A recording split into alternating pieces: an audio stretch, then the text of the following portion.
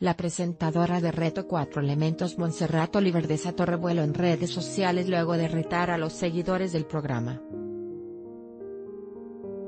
A través de sus historias de Instagram, Montserrat Oliver compartió un video para invitar a los internautas a que intentaran hacer un reto de inframundo y luego subirlo a sus redes con el hashtag Reto 4 Elementos. Oigan los quiero invitar, a ver si se atreven a hacer un reto de inframundo desde su casa. Por favor háganlo y súbanlo a sus redes con el almohadilla reto 4 elementos y el otro que sea almohadilla reto 4 bota.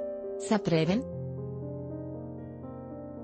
La petición de la presentadora tuvo una respuesta positiva y en el transcurso del día publicó los videos de los fanáticos del programa, quienes se han atrevido a tomar licuados raros o vísceras de animales. Recordemos que en el reto del inframundo los participantes tienen que enfrentar diversas pruebas, en la mayoría de las ocasiones, superar sus medios y fobias, como tomar licuados de extrañas consistencias o permanecer en una caja de cristal con roedores y víboras.